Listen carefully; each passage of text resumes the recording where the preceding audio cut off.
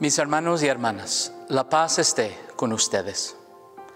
En esta temporada de dar gracias, deseo expresar mi profunda gratitud por su compromiso fiel y el apoyo continuo de nuestra parroquia durante la pandemia. La vida ha cambiado drásticamente este año, incluso cómo adoramos y oramos juntos. Durante más de ocho meses hemos encontrado formas creativas para conectarnos y cuidarnos unos a otros, estudiar y celebrar los sacramentos y para transmitir las tradiciones significadas de nuestra vida. Juntos hemos rezado el rosario limpiado el medio ambiente, apoyamos la vida humana, servimos a los que tienen hambre, continuamos las clases de formación en la fe, celebramos a los seres queridos que han muerto y hemos dado consuelo a sus familias. Gracias por glorificar el santo nombre de Jesucristo nuestro Rey. Al comenzar la temporada navideña, los animo a que se unan a nosotros mientras celebramos nuestras importantes tradiciones religiosas, ya sea que lo hago en línea o en persona. Celebraremos una novena de rosario y mañanitas para honrar a Nuestra Señora de Guadalupe. Celebraremos Simbangaví. Llevaremos a cabo a una colecta de comida de canastas navideñas y celebremos el nacimiento de nuestro Señor Jesucristo. Comenzamos esta temporada como comenzamos, todas las cosas, dando gracias a Dios por todo lo bueno.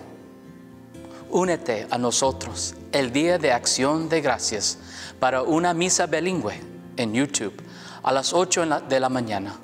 Y después de la misa, los invito a venir en familia a la iglesia de Olive desde las 9 hasta las 10 de la mañana.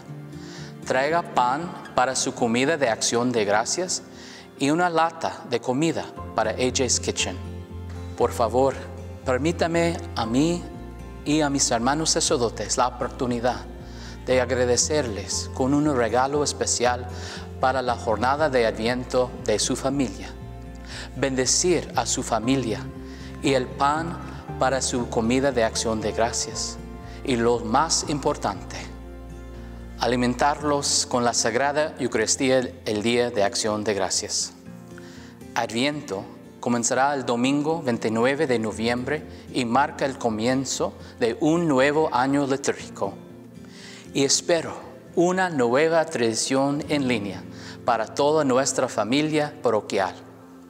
Todos los domingos de Adviento a las siete y media de la noche en YouTube, mis hermanos sacerdotes y yo encenderemos una vela en nuestra corona de Adviento.